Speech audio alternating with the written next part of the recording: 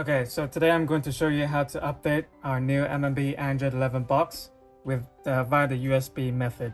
So first you plug in your MMB Android 11 into your vehicle and then you copy our file that we have sent you. So you first download it and um, follow the instructions to how to download and copy onto USB and then everything else is on your car. So first you go to settings, then you go down and then look out for version upgrade here. So once you, you go into it, uh, it says no updated version is available, and this is the current system version. It says no updated version is available available because I have not connected the USB. So first I'm going to, uh, so secondly, I'm going to connect the USB and then I need to go back one page and then back into that page.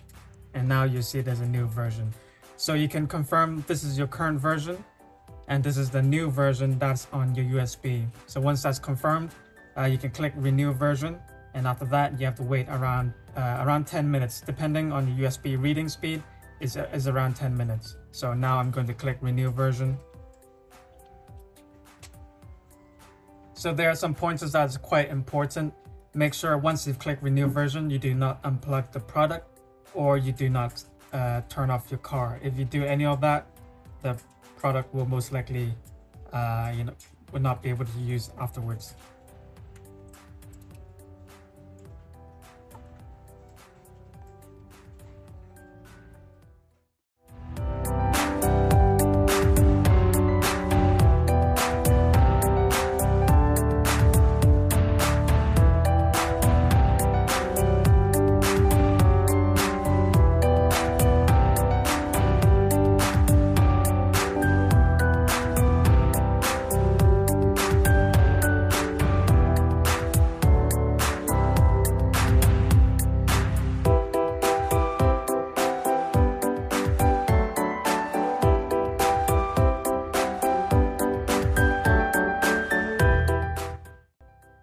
So normally after around 10 minutes, the system will return uh, back to the Android 11 uh, main menu. But if it doesn't and the LED is still red, uh, or what you can do is just unplug the USB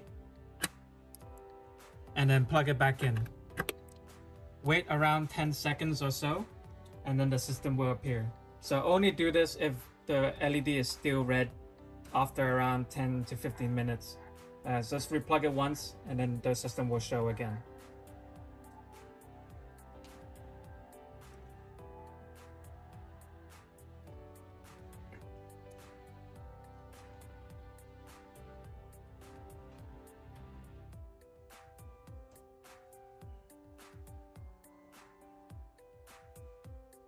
Okay, so once you have uh, finished update, and then you're back in the system, what you should do, the first thing you should do is go to settings, go into um, about this machine, and then you can check here your current version. If you have to check if it upgraded or not by looking at this serial, at this number here. And that's all, that's how you update the MMB Android 11. Thank you for watching.